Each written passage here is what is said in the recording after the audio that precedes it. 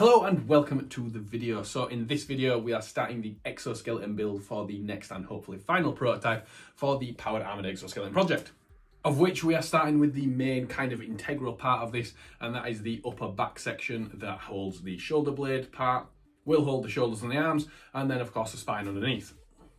Now I've made a few exoskeletons at this point and this is something that was quite a lot of trial and error on just working out what actually works with your shoulders and your movement and everything because there were some things that I found weren't exactly obvious on the outset of actually designing exoskeleton on how everything needed to be and work together. So if we take a look at one of my old exoskeletons, you can see one of my earlier designs was basically to have this bracketry system on the back, kind of like a cantilever design, if you will, that allowed your shoulders to move in and out and allow you to basically rotate your arms around without anything clashing, keeping anything aligned.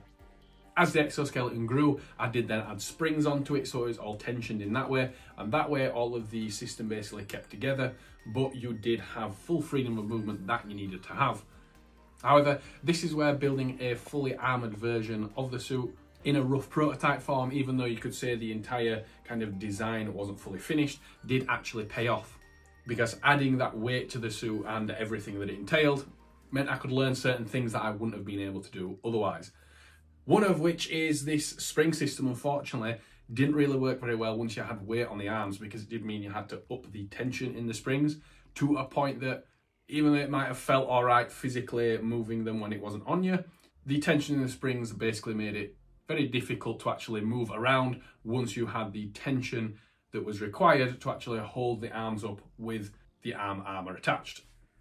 This meant the arms would sag down essentially, and I did learn something else, and it's that for the early prototypes, I basically made everything out of aluminium, out of just uh, two or three millimeter sheets of aluminium. This worked great, but of course aluminium isn't really strong enough. And then you can say, well, do you need to have like curves on the metal to make it stronger? You know, like arches in the metal to create a stronger three-dimensional shape? And the answer is no, really, there isn't much of a point. And here's why. Number one, shaping these parts so they fit really nicely against the body is kind of just pointless. Because what you really don't want to happen is you really don't want any of these parts touching your skin at all. Any any part of the exoskeleton that is going to move and rotate a little bit, you don't want touching your skin because it's just going to nip your skin or rub. Doesn't matter how you shape it, you're always going to have that issue. So you either want complete clearance or essentially a clearance by padding. All of that makes basically shaping these parts to perfectly fit parts of your body is basically irrelevant.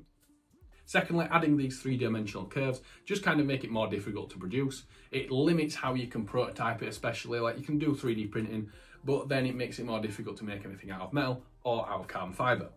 It certainly makes doing things that are adjustable, that are kind of like sliding in and out, it makes that a bit more difficult.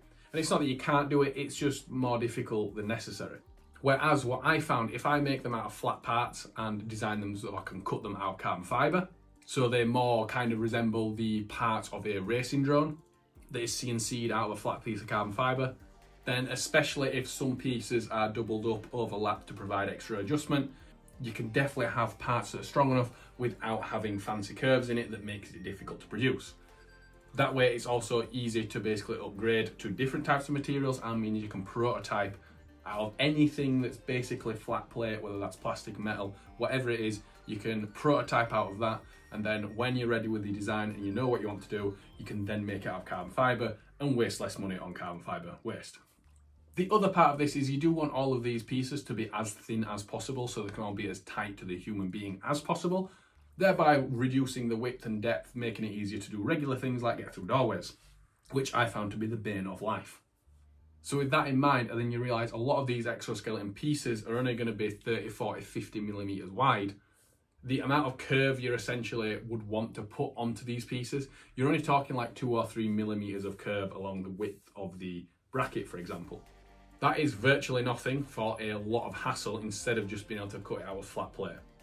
So you'll notice on this series of exoskeleton builds, a lot of it is just out of flat plate carbon fibre. Typically about three millimeters, I found that to be good. Two millimeters is too weak.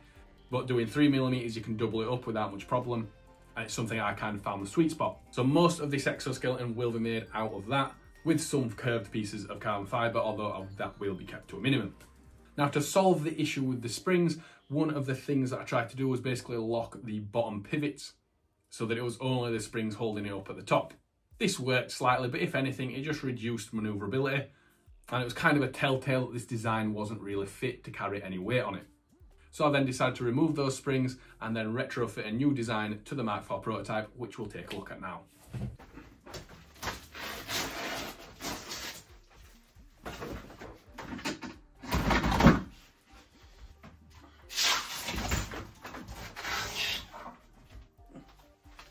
So this is the latest design for the back and shoulder pieces that I've made.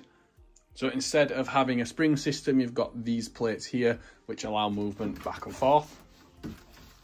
And then to allow you to shrug your shoulders, you've got this movement up and down like so.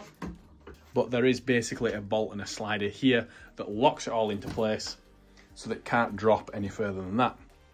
Slightly annoying thing I did do on this is I forgot to turn these pieces round so they were all shiny side on one way. But as you can see, they are made out of carbon fibre. They are three millimeter thick carbon fibre, which especially when you're doubling these pieces up, it's certainly strong enough at that. And these pieces here on these bolt holes act as the adjustment for the arms, so you can essentially adjust these arms backwards and forwards. And then that little bolt is part of the locking sliding mechanism that allows them to shrug up but stop there. That way you can also adjust the angle of which the whole thing sits at. One of the problems I did have was trying to actually find some decent hinges for these parts here. You can see these are just little 25 millimeter hinges from regular DIY shops. I haven't been able to find any decent ones. I actually want to try a flexible plastic that can basically be bolted on and just gives you that movement. It's not like you need not much movement, but it does need to be a very secure movement with no slack in it, no play in it that can cause the whole thing to sag. So for this next prototype that I'll show you, it is just going to be using the same type of hinges, but in the future I'll probably replace that. You can also see on this partially dismantled arm, we've got the shoulder position. So we've got the rotator for the back of the shoulder, and then just the hinging point around the sides, and then the rotating side for the basically front lifting delt part of the arms. I will go over this part more in a separate video, but I did just want to go over that a little bit so I can demonstrate a problem that I found.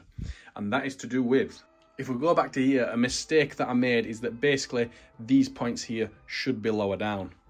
But because I was modifying all of this from the previous design, I couldn't move this thing lower down. So unfortunately, the fixing points for these parts did have to be where they are here. However, the issue you have is just how you shrug. This is the reason why this next prototype we're going to make today isn't going to be made out of carbon fibre just because I'm having to alter quite a bit and I fear I might get it wrong. And due to the size of this whole plate, if you will, making that out of carbon fibre is quite a big piece of carbon fibre. So if I screw it up, it's not that cheap. Now we've gone over this, we'll just go over to the gym and go over the actual movement of shrugging your shoulders and where I made the mistake on this version and on previous versions. So I think the reason I made this following mistake is just because in the gym you do things like shrugs and you see how your shoulders, when you shrug, basically just move up in one straight line. However, while that can be the case, I think a lot of the reason why you do that in a gym is simply because you're carrying weight, so that's the easiest motion for your shoulders to do. However, in actual fact, when you do a shrug at least unweighted, your shoulders do kind of move in a curved direction, so when your shrug is down, essentially, your shoulders will be wider, and then when you lift your shoulders up, they basically go in towards your neck, which means the pivot point for the exoskeleton does need to be lower down, so you essentially get the correct angle and curve as you lift your shoulders up in the exoskeleton. Another reason for that pivot point to be at the bottom is so the brackets can essentially move out and wrap around with the shoulders, but can also contract into the center of the back to allow all of the mechanism for the shoulders to move around to face the back. So if you watch the chalk marks on my shoulders, you can see as I move my arms around, any part of this back piece would have to be able to extend to allow for those shoulder pieces to rotate round, but equally as I put my arms back up to the sides, you can see how those two dots get closer together, so any mechanism would have to get close together. This isn't possible if you have that pivoting mechanism higher up. It basically all just gets jammed up and you can't move freely in those positions when you need to do. This is the reason why you'll see a lot of commercially available exoskeletons using this type of design because there's not many other ways, as I've found, you can actually do it where you can get that full maneuverability. With that said, we'll go into CAD and take a look at the new revised design, of which you can see how the pivot point is now moved down, the arms are extended, and if anything, they are thickened up a little bit to make sure they're as strong as possible. We have the centre spine piece again with some holes to help it mount onto the back plate. That, however, is something that I need to check and make sure is right because I'm not 100% if the exact bolt locations will work out correctly. Hence why, again, it's a plus not doing this part out of carbon fibre yet. Then you can see how the main pieces can extend out and in. Depending on where they need to be for the individual user, these again are just bolted together to make it secure and simple. Here is the locking mechanism for the pivot to limit or set the amount of movement you have in the pivoting system. I feel like I may have to add more bolt holes to these, but we'll see. It is a little bit difficult sometimes in CAD to work out exactly where the shoulders sit until you get it actually made and tested out. Just to note that this top piece is a piece that needs to be curved out of carbon fibre, so I will be making a mould at some point with that that basically curves over towards the chest plate and attaches to the back armor plate. I won't be making that yet as that does have to be quite accurate in the curve just so it actually sits correctly onto your shoulders. So if we swing over to the left here, we can see the pieces that I'll be 3D printing, which is the center spine piece, which will be split in two. The reason why I'm 3D printing these pieces is so I can put these blocks on them just to test out where it needs to sit exactly on the back armor plate. I know it'll be between about 50 and 70 mil off the back plate, but I'm not 100% which one. And because there is that hinged movement in the spine pieces, that extra 10 or 20 mil does matter. As if I make that gap too small, it might clash with the back plate. If I make it too big, it might make the actual whole chest and back plate too tight on the user. And then these other part will be cut out of fiberglass sheet, which I bought try to just cut costs of this prototyping, but actually the fiberglass sheet was nearly the price of carbon fibre, so I might have wasted my time there. But oh well, let's get cutting and get it put together. And there we have the centre spine piece. We've got it glued together just there. Had to print it in two pieces. Got these blocks ready to cut down all neatly. Now we've got the rest of the pieces cut out of fiberglass ready to put together. And I'm still going with these little 25mm hinges for now. On the plus side, they are strong and cheap. It's just that they also look cheap. And then we have the entirety of this system put together. So you can see it's all bolted together, hinges in the middle. You then have these movements here. I've had to drill some more holes in here. I did get that wrong. This is the type of reason why I wanted to do this prototype and not just make it straight out of carbon fibre. I've set the positions to the second one on there on the fiberglass pieces I think that's correct, but that is of course something can change as we go along. And then on the back we've got these points here where we can mount the back plate onto. And then you can see those sliding mechanisms there. There is a washer down the sides of these to add a little gap and to allow for movement. You can see how these plates are nice and thick, so they won't twist much with the weight on it, hence why 3mm is actually good enough. And we'll now get the back plate and see what it's like onto this. Now, for anyone who's watched the previous videos, you'll know that I had some 3D printer problems, and this is one of the pieces I had those 3D printer problems with. And I haven't had time to redo it yet, but it's good for this demonstration. And here we have the new version hung up and roughly lined up with the back piece at least. You can see comparing it to the other side, how the hinging point is completely different, lower down and should give the correct angle. As for the blocks, I've cut about 10 millimeters off them to fit them to the back plate at what I think is the required distance. So you can see as I pivot this arm back and forwards, it does clash with the back plate. Now again, you don't really need much movement on this piece, but you do need some, and that's certainly enough. It might actually be more than I need, so I might have to close that up closer a little bit more. But I have got to bear in mind, I'm gonna have these bolt holes here and a mechanism for the backpack at the bottom. It is pretty close to clashing down here, although it doesn't at the minute. However, I do think this might be set a little bit low on the back plate at the minute. I really need to get these shoulder pieces on just to have kind of a comparison and a check compared to the old prototype just to see where it all sits. But again, that can be changed for when this all gets cut out in carbon fibre and the back gets reprinted. Now you may look at these and think these surely can't be strong enough to carry the weight, but they are, even in fiberglass, pretty stiff and secure. But you've also got to remember that most of the weight for this suit is basically acting downwards like that, not on the flat side of the plates. But despite those minor modifications that I'll have to make, I am happy with it in general and glad to finally be getting building the next prototype. For the next video, for the other parts of the shoulders, I'm going to reprint this piece, get it attached properly, and ideally have the centerpiece out of carbon fibre, if not the side pieces as well.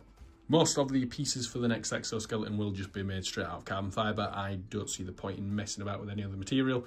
It was, like I was saying, just those two, because they are big pieces to waste if I get it wrong.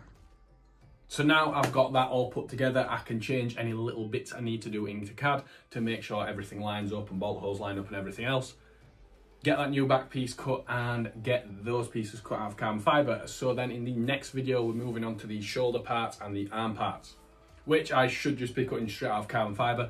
Again, I don't see the point in doing it out of different material now. All those pieces are pretty sure I know exactly how they need to be. So please like and subscribe. There is a sledgehammer renovation video coming soon. Some other things, and I'm also finally getting around to actually learning how to do the PCB maker in Fusion 360 so I can get some custom motor controllers built and all of that stuff for the actuators. But with that said, I hope you have a great day and thank you for watching and I hope to see you on the next one.